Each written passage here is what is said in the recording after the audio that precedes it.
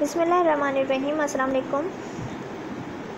आज हम लोग स्टडी करने जा रहे हैं एंडोक्राइनोलॉजी। एंडोक्राइनोलॉजी आप लोगों का मोस्ट इंपॉर्टेंट चैप्टर है। एंडोक्राइनोलॉजी में हम मुख्तलिफ़ किस्म के एंडोक्राइन सिस्टम से रिलेटेड टॉपिक्स को स्टडी करेंगे। तो सबसे पहले हम जानते हैं कि एंडोक्राइनोलॉजी क्या चीज़ है। जिस तरह हमने पहले नर्वस सिस्टम पढ़ा, इसी तरह हम एंडोक्राइन सिस्टम पढ़ेंगे, लेकिन उससे पहले हम जानेंगे कि एंडोक्राइनोलॉजी क्या है। Today our topic is endocrinology endocrinology क्या है? जैसे कि हमने प्रीवियस अपने लेक्चर्स में स्टडी किया था कि biology biology means bio means life and logy mean study तो यहाँ पे भी लॉजी का वर्ड स्टडी ही को ज़ाहिर कर रहा है, जबकि एंडोक्राइन एंडोक्राइन ज़ाहिर करता है एंडोक्राइन सिस्टम को या एंडोक्राइन ग्लैंड्स को या एंडोक्राइन सिस्टम से रिलेटेड मुख्तलिफ़ किस्म के फिनोमिनाज को इसलिए हम एंडोक्राइनोलॉजी को डिफ़ाइन कर सकते हैं। Endocrinology is a branch of biology and medicine dealing with the endocrine system its diseases and its specific secretions known as hormones endocrinology एक एक ऐसी ब्रांच है बायोलॉजी एंड मेडिसिन की जो कि इसमें हम स्टडी कर सकते हैं एंडोक्राइन सिस्टम को, उसकी डिज़ीज़ को एंड स्पेसिफिक सिक्रेशंस जो एंडोक्राइन सिस्टम में रिलीज़ हो रही हैं, जिनको हम हारमोन्स का नाम देते हैं। हार्मोन्स के बारे में भी हम एंडोक्राइनोलॉजी में स्टडी कर सकते हैं। सो ऐसी बायोलॉजी एंड मेडिकल साइंसेस की ब्रांच जिसके अंदर हम एंडोक्राइन सिस्टम के बारे में, उसकी डिज़ीज़ के बारे में, उसकी सिक्रेशंस के बारे में स्पेसिफिक जिनको हम हार्मोन्स कह रहे हैं कि स्टडी करते हैं, उस ब्रांच को हम एंडोक्राइनोलॉजी कहते हैं। एंडोक्राइनोलॉजी एक ऐसी स्टडी है जिसके अंदर हम एंडोक्राइन सिस्टम के बारे में पढ़ते हैं। इन शॉर्ट अगर हम बोलें तो endocrinology is a study of endocrine system then अगर हम इसकी डिटेल में जाते हैं, या हम, जैसे हमने प्रीवियस अपना लेक्चर नर्वस सिस्टम के ऊपर किया है तो हम लोगों को पता है कि नर्वस सिस्टम हमारी बॉडी को रेगुलेट कर रहा होता है डिफरेंट एक्टिविटीज़ को। All the physiological activities are regulated by two systems in the body हमारी जो बॉडी है, उसमें सिर्फ़ नर्वस सिस्टम ही नहीं है, जो कि रेगुलेट करने में एक बॉडी की रेगुलेट करता है एक्टिविटीज़ बल्कि एंडोक्राइन सिस्टम भी उसकी हेल्प कर रहा होता है। तो its mean all the biological activities are regulated by two systems in a body हमारी बॉडी में दो सिस्टम ऐसे हैं जो कि रेगुलेट कर रहे होते हैं physiologically activities number one nervous system जिसके बारे में हम पहले स्टडी कर चुके हैं and endocrine system nervous system and endocrine system मिलकर जो है हमारी बॉडी की मुख्य फिजियोलॉजिकल एक्टिविटीज़ को रेगुलेट करते हैं। Endocrine system along with the nervous system functions in regulation of body activities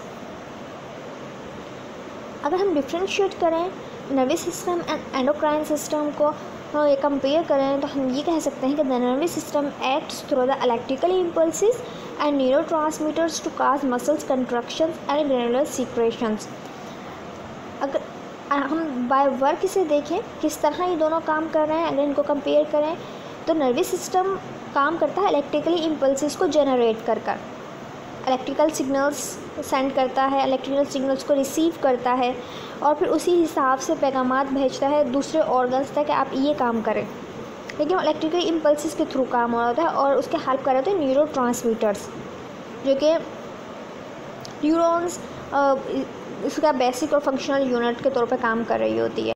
हम कह सकते हैं nervous system acts through the electrical impulses and neurotransmitter to cause muscles contraction जो कि मसल्स कंट्रक्शन काज करते हैं एंड ग्रेनुलर सिक्रेशन और secretion release करने का काम है। इन शॉर्ट नर्व इम्पल्सिस या इलेक्ट्रिकली इम्पल्सिस नर्वस सिस्टम में अहम किरदार अदा कर रही होती हैं, जो कि पैगाम लेके भी जाती हैं पैगाम लेके भी आती हैं और मुख्तलिफ़ ऑर्गन्स तक हिदायत देती हैं जा, ले जाकर कि आपने ये काम करना है। इस मसल्स कंट्रक्शंस किस किस टाइप की होगी या सिक्रेशंस किस टाइप टाइप की रिलीज़ होंगी तो यहाँ पर नर्वस सिस्टम के अंदर बेसिक वर्क स्टाइल जो electrical signals and neurotransmitter से रिलेट कर रहा है। जबकि एंडोक्राइन सिस्टम को अगर हम देखें तो endocrine system act through chemical messengers nervous system में जो काम इलेक्ट्रिकली इम्पल्सिस कर रही थी एंडोक्राइन सिस्टम में वही काम केमिकल मैसेंजर्स करते हैं, जिनको हम कहते हैं हॉर्मोन्स ठीक है endocrine system acts through the chemical messenger called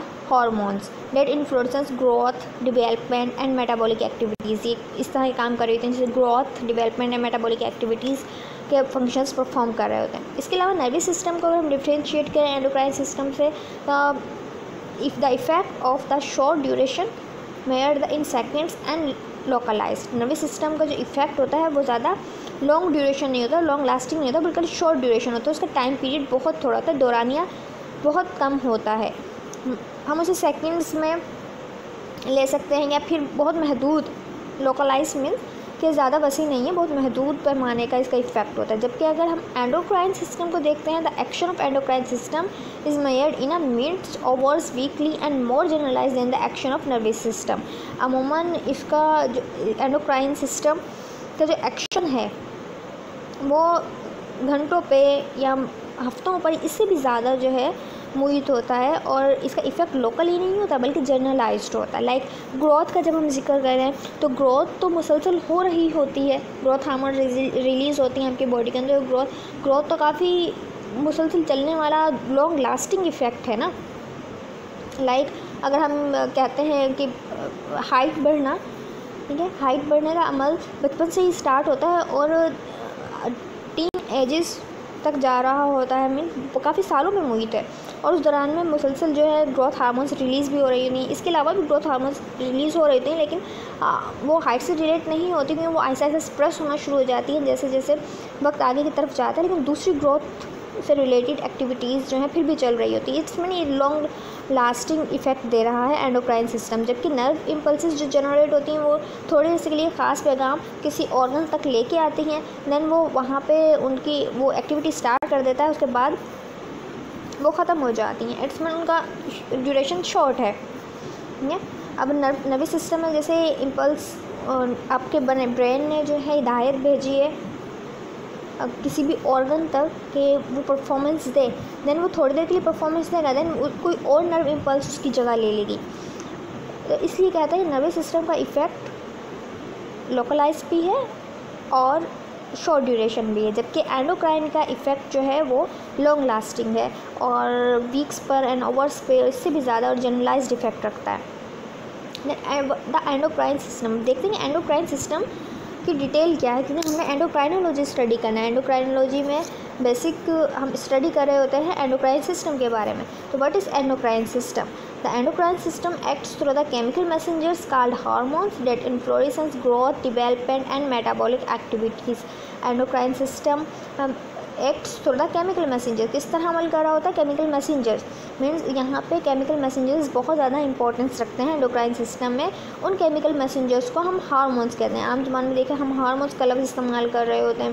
then inflorescence growth जो कि ग्रोथ पे इफ़ेक्ट करती हैं डेवलपमेंट पे एंड मेटाबॉलिक एक्टिविटीज़ पे इफ़ेक्ट कर रही होती है। हम इसे डिफाइन कर सकते हैं एंडोक्राइन सिस्टम को इस तरह के। The endocrine system acts for the chemical messengers called hormones the influence growth development and metabolic activities इसके अलावा हम अगर इसे एक और तरीके से डिफ़ाइन करना चाहें मोर इजी तरीके से तो हम ये कह सकते हैं the endocrine system is the collection of gland that secrete hormones directly into the blood stream to regulate the body endocrine system इस तरह के ग्लैंड्स पर मुश्तमिल है, जो कि सिक्रेट करती हैं हार्मोन्स और डायरेक्टली उसे रिलीज़ कर देती हैं ब्लड स्ट्रीम में to regulate the body function body function को रेगुलेट करने के लिए वो डायरेक्टली हार्मोन्स को ब्लड के अंदर रिलीज़ करते हैं। इस तरह के ग्लैंड पर मुश्तमिल है एंडोक्राइन सिस्टम जो कि डायरेक्टली अपनी हार्मोन्स को ब्लड स्टीम में रिलीज़ करता है, ताकि बॉडी फ़ंक्शंस को रेगुलेट किया जा सके।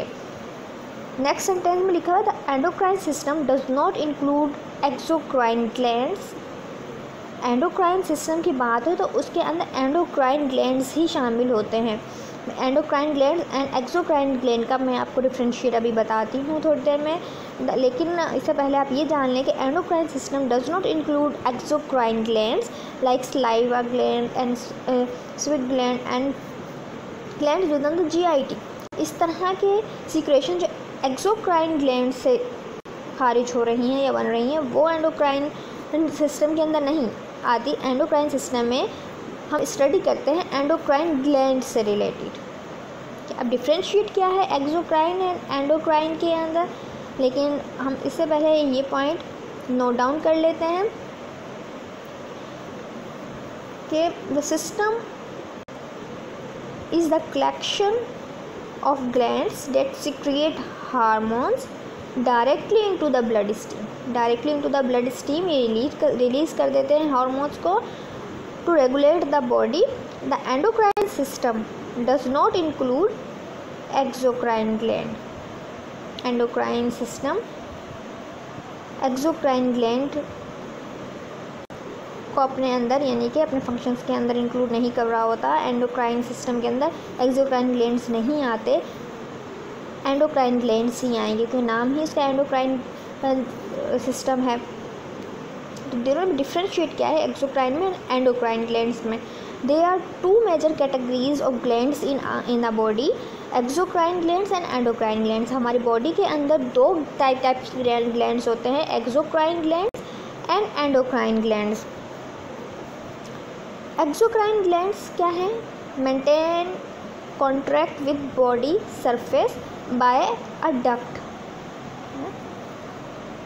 वो जो सिक्रेशंस रिलीज़ कर रहे होते हैं सरफेस ऑफ़ बॉडी की तरफ़, वो डक्ट से आपके सरफेस के ऊपर ही रिलीज़ हो रही होती हैं like epithelial tubes that that direct secretions to the surface जिस तरह पसीने का आना, हमारे सरफेस के ऊपर आ रहा होता है पसीना टीयर्स ग्लैंड्स टीयर्स हैं, आँसू आप देखते हैं, आप बाहर देख सकते हैं, आपकी सरफेस पे, आपकी जल्द के ऊपर वो नज़र आते हैं।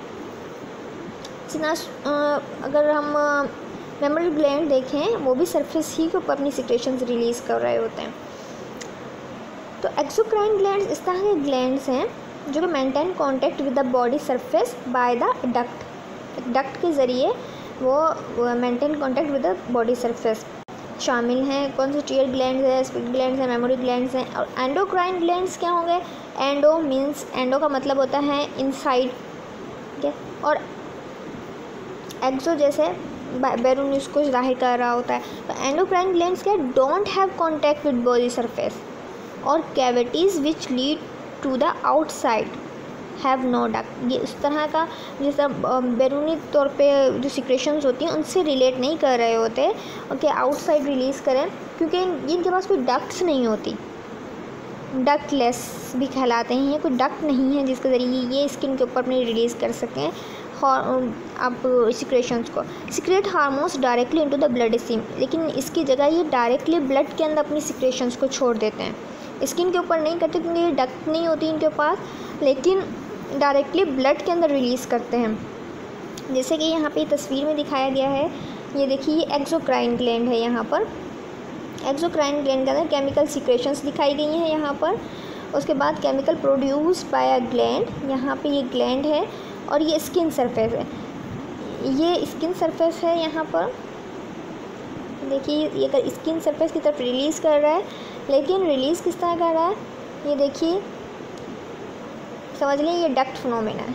ये यहाँ से ये डक्ट फिनोमिना ये डक्ट बनी हुई है यहाँ से ये स्किन की तरफ़ जा रही है। इसी तरह अगर आ, हम देखते हैं एंडोक्राइन ग्लैंड्स को। एंडोक्राइन ग्लैंड में आप देखेंगे ये एंडोक्राइन ग्लैंड दिखाया गया है। ब्लड कैपलरीज़ हैं।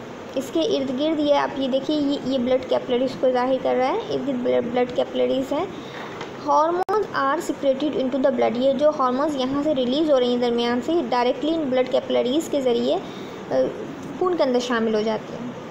लेकिन एक्सोक्राइन ग्लैंड के अंदर डक्ट के ज़रिए ये सरफेस के ऊपर रिलीज़ कर दी जाती हैं बॉडी के।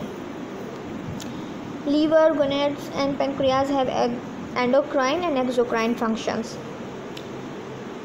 अब अगर हम वन बाय वन देखें एक्सोक्राइन ग्लैंड्स क्या है? Exocrine glands have ducts exocrine gland products होती हैं that carry their secretory products to the surface जो कि वो जो डक्ट सिस्टम है, उस डक्ट सिस्टम के थ्रू ये अपनी सिक्रेशंस को सरफेस के ऊपर रिलीज़ कर रहा होता है। The glands include the sebaceous and mammary glands and the glands that secrete digestive enzymes ये सम इसकी एग्जांपल्स हैं। आपने देखा होगा पसीना भी सरफेस के ऊपर आता है, इसी तरह सबेशियस ग्लैंड की सिक्रेशंस भी स्किन के ऊपर ज़ाहिर हो रही होती हैं। तो इट्स मीन एक तो ये डक्स लग रखते हैं, हम ये कह सकते हैं डक्ट्स रखते हैं, दूसरा secretory products on a surface surface के ऊपर ये अब इसमें कुछ एग्जांपल्स जिसके बताई हैं मैंने। आप यहाँ पे देखिए, आप इसकी तस्वीर देखिए, जिसके अंदर दिखाया गया है कि एक्सोक्राइन ग्लैंड है ये, और इसके अंदर से सिक्रेशंस रिलीज़ हो रही हैं, ठीक है? यहाँ पे ये सिक्रेटरी प्रोडक्ट्स हैं रिलीज़ हो रही हैं सिक्रेटरी सेल्स हैं इसके अंदर ट्यूब दिखाई गई है। ये देखिए, ये ट्यूब दिखाई गई है। Tube into which secretory products are release यहाँ से ये ये ये रिलीज़ हो रही हैं सरफेस की तरफ़। ये डक्ट है, ये लेके चली जाएगी, इसको सरफेस की तरफ़। सीक्रेशन को सरफेस की तरफ़ लेके चली जाएगी। तो इट्स मीन ये डक्ट्स रखते हैं एक तो एक्सोक्राइन ग्लैंड दूसरा that carry their secretory product to the surface surface की तरफ़ ले जाती हैं ये डक्ट अब एक्सोक्राइन ग्लैंड्स हमने एक्सोक्राइन ग्लैंड के बारे में स्टडी कर लिया एंड एंडोक्राइन ग्लैंड्स क्या हैं? The endocrine glands don't have ducts आपको डिफरेंस पता चल गया दोनों में कि एक्सोक्राइन ग्लैंड्स में डक्ट्स थी, लेकिन endocrine glands don't have ducts endocrine glands duct नहीं रखते। To carry their product to a surface they are called ductless gland तो इट्स मीन ये क्योंकि डक्ट नहीं लग, रखते, इसलिए इनको डक्टलेस ग्लैंड्स कहा जाता है। The word endocrine is derived from Greek terms endo means within. Greek word से ये निकाल निकला है। एंडो का क्या मतलब है? Endo means within. And crine crine meaning the separate और सीक्रेट दो तरह के मीनिंग है ये, सीक्रेट और separate. The secretory product of the endocrine gland is called hormones. ये जो एंडोक्राइन ग्रैंड सिक्रेशंस रिलीज़ करते हैं, इनको हम हॉर्मोन्स कहते हैं। These hormones are secreted directly into the blood ये हारमोन्स किस तरह रिलीज़ करेंगे? डायरेक्टली ब्लड के अंदर रिलीज़ करेंगे। सरफेस के ऊपर नहीं बॉडी सरफेस पे नहीं रिलीज़ करेंगे, जैसे एक्जोक्राइन करते हैं। बल्कि ये डायरेक्टली ब्लड के अंदर सिक्रेट कर देते हैं अपनी हार्मोन्स को, अपनी सिक्रेशंस को। And then carried throughout the body where the influence only to cells that have receptor sites for that hormones तो जहाँ पे भी उन हार्मोन्स के स्पेसिफिक हार्मोन्स के रिसेप्टर्स होते हैं, वहाँ पे जाके वो अमल करना शुरू कर देती है। इसका मैकेनिज्म हम आगे स्टडी करेंगे। अब देखिए, यहाँ पे भी एक्जोक्राइन एंड एंडोक्राइन ग्लैंड्स दिखाए गए हैं। एक्जोक्राइन डिफ्रेंशिएट करते हैं क्योंकि एक्जोक्राइन के अंदर और डक्ट मौजूद होती है। देखिए डक्ट होती है जो कि सरफेस की तरफ़ ले जाती है। लेकिन एंडोक्राइन के अंदर कैपलरीज मौजूद होती हैं। ये कैपलरीज हैं। कैपलरीज मौजूद हैं। ये कैपलरीज जो हैं हार्मोन्स को ब्लड के अंदर सिक्रेशंस में मदद दे रही होती हैं, क्योंकि डक्ट इसके अंदर मौजूद नहीं है। ब्लड के अंदर डायरेक्टली शामिल हो जाती हैं हार्मोन्स। टाइप्स ऑफ़ ग्लैंड्स यहाँ पे तस्वीर के ज़रिए वाजी किया गया है। जैसे कि ये है एक्सोक्राइन ग्लैंड एक्सोक्राइन ग्लैंड के अंदर दिखाए गए हैं सिक्रेटरी प्रोडक्ट्स रिलीज़ हो रही हैं एक्सोक्राइन सेल्स के ज़रिए और एक डक्ट मौजूद है। ठीक है, ये डक्ट इसको स्किन की तरफ़ ले जाएगी सिक्रेशन को स्किन की तरफ़ ले जाएगी। जबकि दूसरी तरफ़ दूसरी तरफ़ अगर हम देखें एंडोक्राइन ग्लैंड अगर देखें तो एंडोक्राइन ग्लैंड के अंदर हम्म, आप देखोगे एंडोक्राइन सेल्स रिलीज़ कर रहे हैं हॉर्मोन्स को और जो कि डायरेक्टली ब्लड वेसल्स के अंदर सिक्रेट होती है और ब्लड फ्लो के ज़रिए बॉडी के डिफरेंट हिस्सों तक पहुँच जाती है। केमिकल मैसेंजर हमने बोला था कि केमिकल मैसेंजर रिलीज़ करते हैं। ये glands endocrine glands chemical messenger release करते हैं या फिर आ, हम स्टडी कर रहे होते हैं एंडोक्राइन सिस्टम के अंदर केमिकल मैसेंजर्स की जिनको हम हार्मोन्स कहते हैं। तो केमिकल मैसेंजर क्या चीज़ है? A chemical messenger is any compound it serve to transmit a message जिस तरह नर्वस सिस्टम है nerve impulse electrical impulses generate कर रही होती थी सिग्नल्स एंड लेके जा रही थी पैगाम इसी तरह केमिकल मैसेंजर एंडोक्राइन सिस्टम में ट्रांसमिट करती है message chemical messenger is any compound that serves to transmit a message जो मैसेज ले जाने का काम कर रही ट्रांसमिट करने का काम कर रही थी a chemical messenger may refer to hormone long range chemical messengers neurotransmitters and communicate to the adjacent cells chemical messenger जब हम जर्नल टर्म यूज़ करते हैं केमिकल मैसेंजर की केमिकल मैसेंजर अगर हम कहें हार्मोन तो हार्मोन्स रिलीज़ करती हैं एंडोक्राइन सिस्टम से। तो एंडोक्राइन सिस्टम को डिनोट कर रही होती हैं हार्मोन्स का वर्ड लेकिन अगर chemical messenger just chemical messenger का वर्ड इस्तेमाल करें तो केमिकल मैसेंजर में वो तमाम के तमाम केमिकल जो है मैसेंजर मैसेजेस कैरी करने वाले कंपाउंड्स आ जाते हैं, जो कि पैगाम रसाई का काम कर रहे हैं बॉडी के अंदर। आ केमिकल मैसेंजर में भी रेफर टू हार्मोन फिर वो हार्मोन्स भी हो सकते हैं लॉन्ग रेंज केमिकल मैसेंजर्स भी होते हैं न्यूरो ट्रांसमीटर्स भी हो सकते हैं। अगर हम इन डिफ्रेंशिएट करें तो हार्मोन्स जो है एंडोक्राइन सिस्टम का हिस्सा है और न्यूरो आपके नर्वस सिस्टम का हिस्सा है।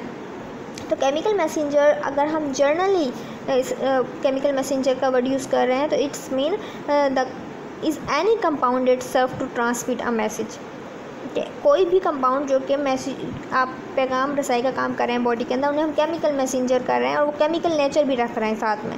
केमिकल नेचर भी रखते हैं और पैगाम, रसाई का काम भी कर रहे हैं। देन हम उसे कहेंगे chemical messenger chemical means chemical उसकी एक्टिविटी से रिलेट कर रहा है वर्ड जबकि मैसेंजर ट्रांसमिट आ मैसेज से रिलेट करता हुआ बना है। तो केमिकल मैसेंजर वो हैं कंपाउंड जो कि serve to transmit a messages अब उसमें हार्मोन्स भी शामिल है लॉन्ग रेंज केमिकल मैसेंजर्स भी शामिल हैं एंड न्यू ट्रांसमीटर्स भी शामिल हैं। हारमोन्स का वर्ड स्पेसिफिक इस्तेमाल करेंगे then it is denote to अगर हम वो ज़ाहिर कर रहा होता है एंडोक्राइन सिस्टम को।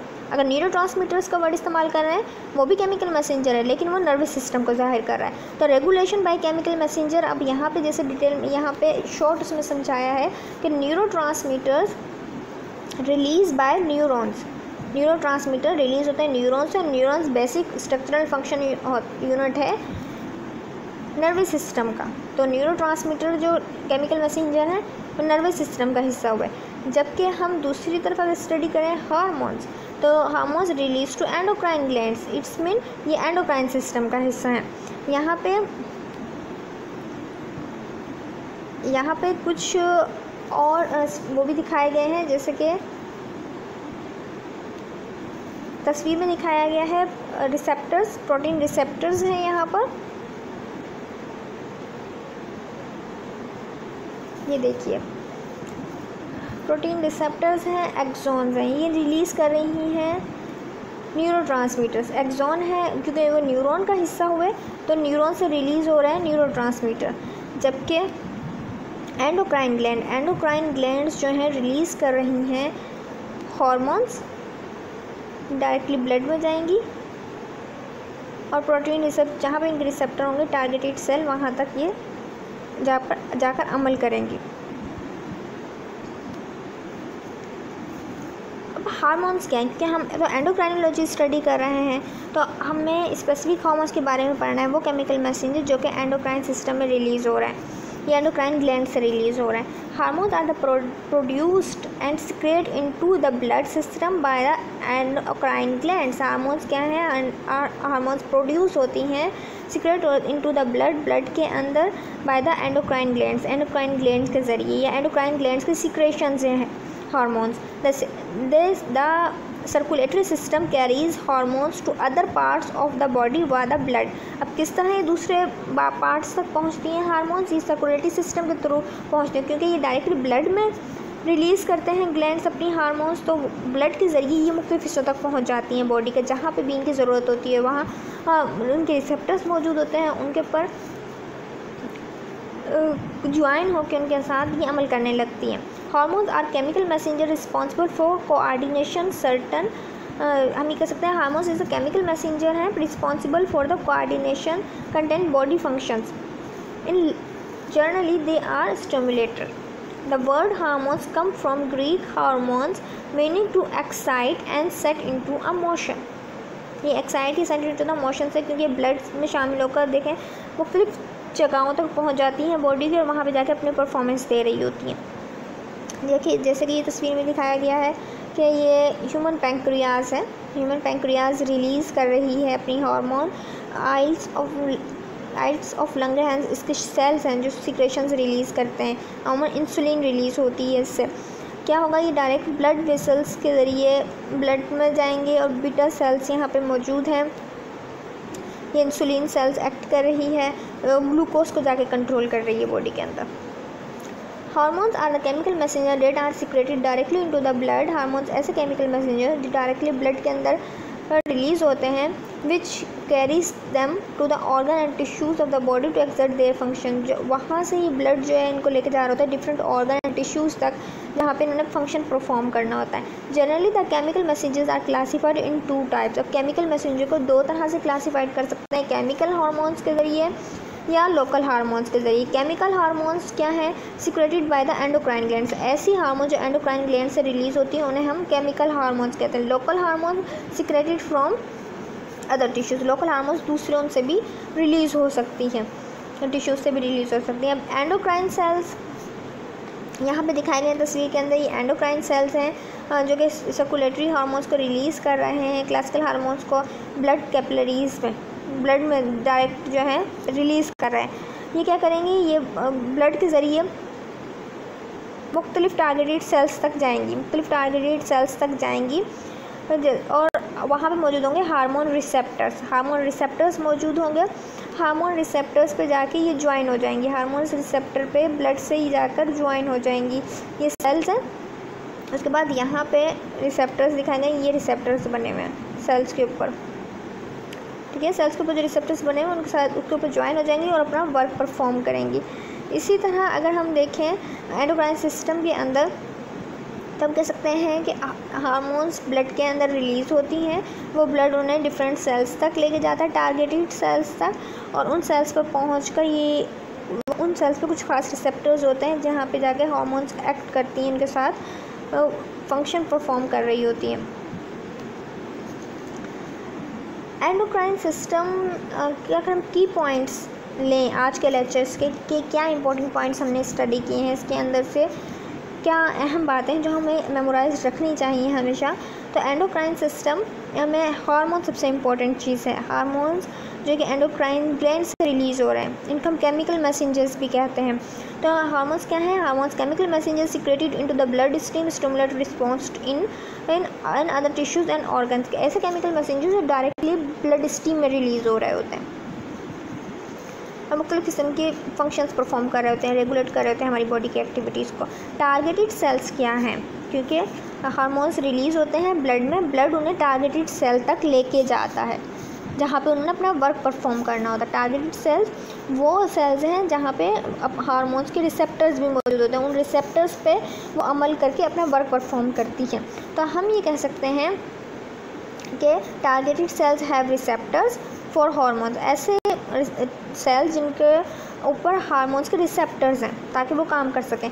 एंडोक्राइन ग्लैंड क्या चीज़ है? एंडोक्राइन ग्लैंड भी इंपॉर्टेंट पॉइंट हमने डिस्कस किया है आज के लेक्चर में। एंडोक्राइन ग्लैंड्स प्रोड्यूस हार्मोन्स किस लिए इंपॉर्टेंट है? कि वो हार्मोन्स को प्रोड्यूस कर रहे हैं। एंडोक्राइन सिस्टम क्या है? एंडोक्राइन सिस्टम क्या है? Includes hormones producing cells in organ such as brain heart and small intestine endocrine system हम ये कह सकते हैं, ऐसा सिस्टम है जिसके अंदर हम एंडोक्राइन ग्लैंड्स की स्टडी करते हैं। क्या उनकी सिक्रेशंस की स्टडी करते हैं? तो उसको एंडोक्राइन सिस्टम कहते हैं।